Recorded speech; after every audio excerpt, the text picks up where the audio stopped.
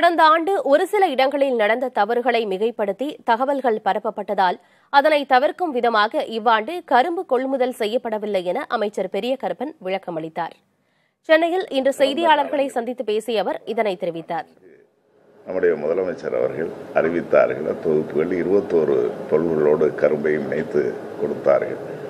அந்த கரும்பு வளங்களில் முறைகேடுகள் அதாவது குறைகளை கண்டுபிடித்து அவற்றை சுட்டி காட்டியிருக்கிறீர்கள் பல கோடிக்கணக்கான குடும்பங்களுக்கு கொண்டு போய் சேர்க்கின்ற நேரங்களில் ஒரு சில இடங்களில் எங்காவது ஒரு சில அதுகள் நடந்திருந்தாலும் கூட அதை மிகைப்படுத்தி ப காட்டுகின்ற காரணங்களால் தான் இதுபோன்ற விமர்சனங்களுக்கு முற்றுப்புள்ளி வைக்க வேண்டும் என்று மாண்புமிகு முதலமைச்சர் அவர்கள் முடிவெடுத்திருப்பார்கள்.